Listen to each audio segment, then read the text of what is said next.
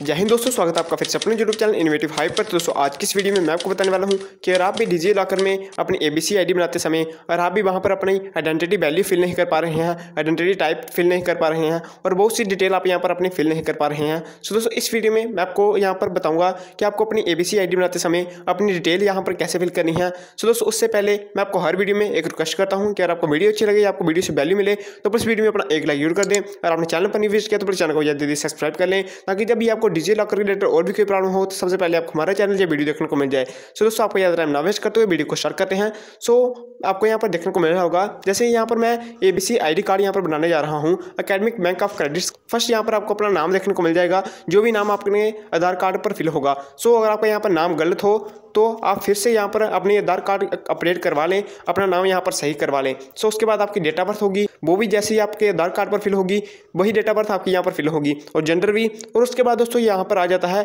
Admission year admission year में आपको क्या फिल करना है, ये मैं आपको बता दूँ। यहाँ पर साइड पर एक एरो देखने को मिल रहा होगा। सिंपली आपको यहाँ पर इस पर क्लिक करना है।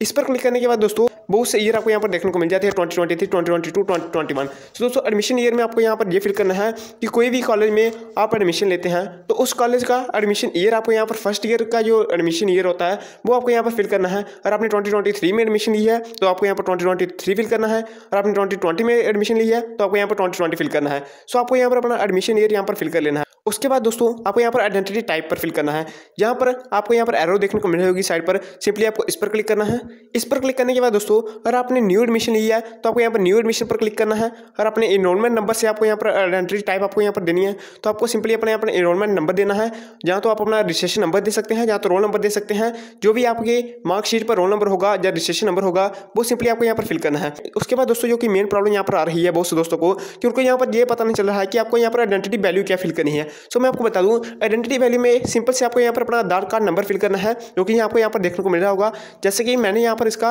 आधार कार्ड नंबर फिल कर लिया है। आधार कार्ड नंबर फिल करने के बाद दोस्तों, आपको यहाँ पर देखने को मिल रहा होगा नीचे सेलेक्ट इंस्टीट्यूशन नेम तो सिंपली आपको यहाँ पर एरो पर क्लिक करना है। एरो पर क्लिक करने के बाद दोस्तों, आपको यहाँ पर अपना इंस्टीट्यूशन है, जो भी जिस भी यूनिवर्सिटी से आप यहाँ पर अपनी डिग्री कर रहे हैं डिप्लोमा कर रहे हैं, उस इंस्टीट्यूशन का सिंपली आपको यहाँ पर सर्च करके उस इंस्टीट्यूशन को फिल कर लेना है। फिल करने के बाद दोस्तों, आपको यहाँ पर गेट डॉक्यूमेंट पर क्लिक करना है। गेट डॉक्यूमेंट पर क्लिक करने के बाद दोस्तों, आपको यहाँ पर फैचिंग होगी। ए बी कार्ड आपका यहाँ पर फैचिंग होगा।